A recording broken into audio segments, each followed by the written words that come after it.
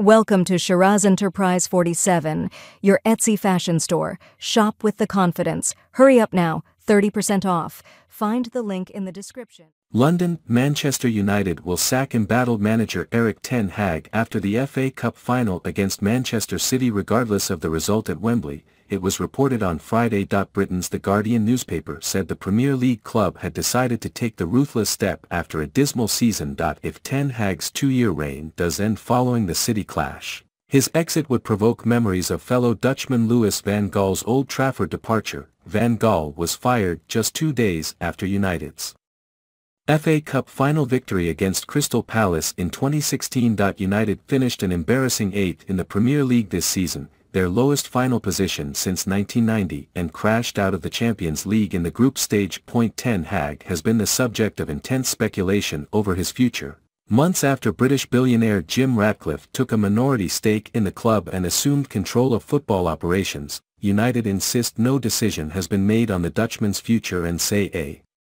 full review will take place after Saturday's showpiece against the Premier League champions, who are chasing their second straight league and FA Cup double, the club have been linked with a list of names including Thomas Tuchel, Mauricio Pochettino, England's Gareth Southgate and Ipswich boss Kieran McKenna, who has previously coached at Old Trafford. Speaking before the latest report emerged, United goalkeeper Andre Onana said the final was extra motivation after an injury-hit season in which many of their star players flopped.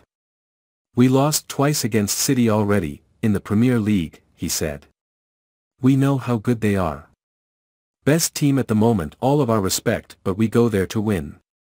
A final.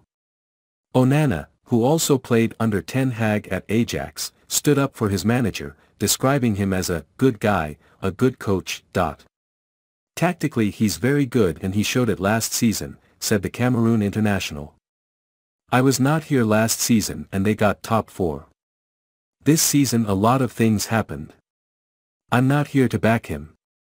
He is big enough to back himself.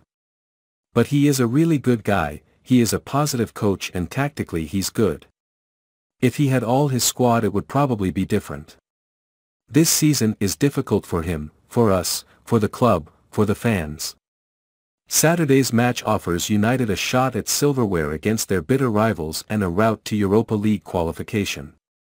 It would make things look better, said Onana, who has had an inconsistent first season at Old Trafford. It's important to end well and winning this game would mean we're in the Europa League.